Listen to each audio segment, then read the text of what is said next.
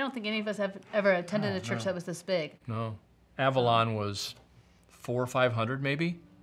And you think where we are now, I don't know where we are number wise, 3,500, 4,000, whatever it is, you know, how much we've grown.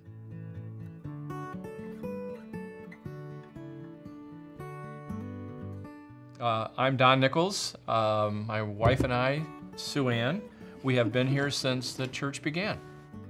My name is Ben, My name is Teegan. And we've been attending Pathway for 16 years. We were living on the north side of town, and we were going to Avalon Missionary at that time.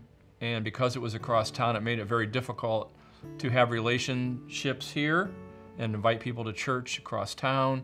So we, because of Jeff Getz, I would say, and the other four couples that were with us at that time, um, chose to see if we could plant a church.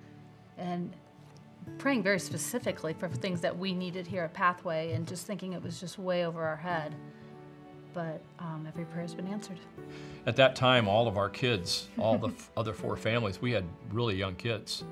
And uh, so obviously that was a part of our prayer, uh, that we would have a great kids ministry. And Kevin came along and left a great paying job and um, to be a part of that and, and to lead kids ministry where it is today.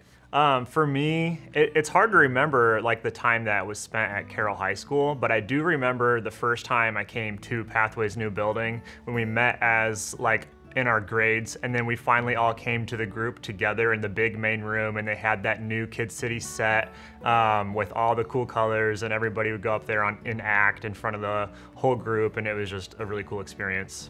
Well, for me, one of the first things that I got plugged in here was when we had the hot chocolate bar upstairs. And some of my friends and I, we used to serve hot chocolate on Sundays. And then we both also spent some time leading fifth grade small groups, going on trips. We're in a life group now that's been going really well. Yeah. So set up and tear down.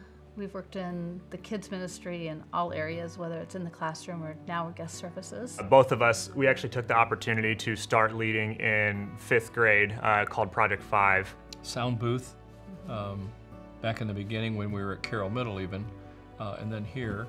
Even more recently, I just started leading sixth grade boys in Impulse. We enjoy being outside, so we plugged into the garden this year, and that's been great to meet so many new people. It removes the focus on oneself to others.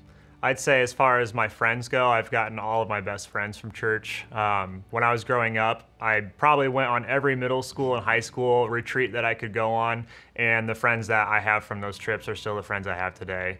And then we recently got plugged into life groups uh, a little over a year ago, and now like some of our new best friends are from that life group. you know, how do you how do you plan Blake Schumacher, um, Ben Schwartz becoming our son Keegan's best friends? You know, they were just munchkins. You know, you don't we just don't think that far down the road to see how the their friendships are going going to evolve at that point. And uh, it was just so it's so cool now to look back and think we never could have imagined that. There's no way. Thank you for being a church that preaches the word, that gets us into it, that helps us look outside of ourselves, um, into the needs, um, that challenges us to step into things, uh, maybe that aren't always comfortable, but um, will have a lasting impression. I- guess for me, it'd be that thank you for the opportunity to have the relationships we've had here that have allowed us to be involved in, you know, a variety of ministries, uh, to be able to have relationships in the church, which have actually allowed us to have relationships outside of the church because of people we've met here and the things we've been able to do here. Things that, again, we never could have imagined when we were thinking about starting a church, planting a church. I think for me, the biggest impact would be the people around me that Pathway has given me. If if I could say anything to the church, the body, it would be to get involved in some sort of life group and just get to know the other people that are coming to church. Um, we took that chance almost two years ago, year and a half ago, and it has been the biggest payoff ever. We have some new best friends now, and we love them. We see them all the time, and I'm really happy that we did it. Looking down the road 20 years, I hope that when people walk into Pathway, they feel seen, they feel loved and accepted, um, that they'll hear the truth, and that it'll make a difference in their life.